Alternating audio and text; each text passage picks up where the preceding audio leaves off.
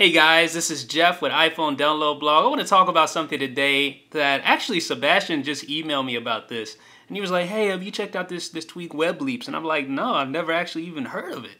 And I'm kind of feel silly because, you know, I'm supposed to be up on, you know, all the tweaks, man. I'm supposed to be up on my tweak game, but apparently I'm slacking a little bit. This one is called WebLeaps. Now, the aim of WebLeaps is to allow you to use shortcut commands to search on your favorite websites. So for instance, if you want to search Wikipedia for an elephant, just like it says here. You just type W elephant even either in you know the Google search or you can do it directly from Spotlight. It has direct Spotlight integration and that's really the nice thing about this. But not only that, before all you power users out there who like to you know get your hands dirty, then you can go in and you can start modifying the property list files and start adding your own search strings. And I actually did that myself. I'm going to show you here the IDB search.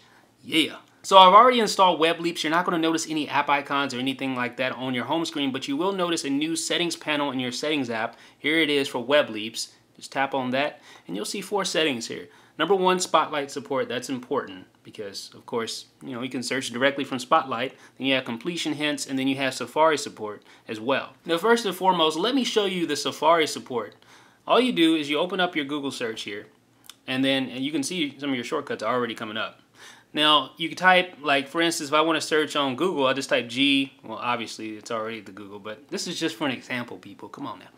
All right, you just type G and then, you know, elephant, if you want to type, you know, search on elephant. Okay, so you just do that, and then you hit search. It's going to pull up your Google search for elephant. Well, if I spell elephant right, but you get the point. You can also do these searches directly from Safari. So if I want to do a wiki search, Wikipedia search, directly from Safari, I just type W space, and then I type, uh, I don't know, Steve Jobs. I think actually you had to put that in quotes. But I could be wrong. No, no, came right up. Okay, so there it is, Steve Jobs. So that's it's really easy, um, and you can add, like I said, if you're a power user, you can really start you know, getting in here and adding a lot of cool things. Just like it says here in our settings, power users can edit the library slash application support WebLeaps preset plist to add custom search keywords. And you might have noticed that I did that for iPhone download blog.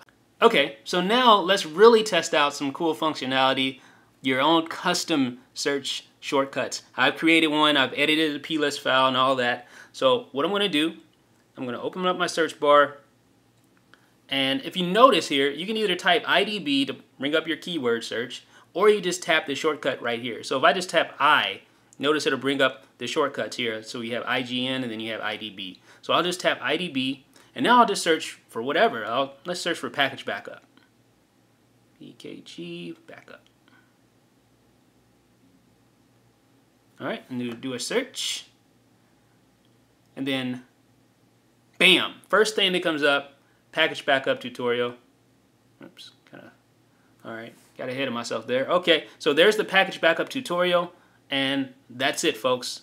So all the way to $1.99, WebLeaps is a little pricey on the Cydia store. This is going to be worth it, and it's very powerful for those of you who do a lot of searches. If you're always searching online and you're always searching various sites, by all means, you're going to want to try this out. And also the custom search compatibility, where you can go in and make your own search strings, that is really powerful. So, I mean, I'm sure what I just, you know, touched on was the tip of the iceberg, and you can come up with some really cool stuff there if you play around with it enough. So have you tried WebLeaps? What do you think about this? Do you think it's worth it? Do you think this type of functionality is something you would use on a day-to-day -day basis? Let me know in the comment section, folks. This is Jeff with iPhone Download Blog.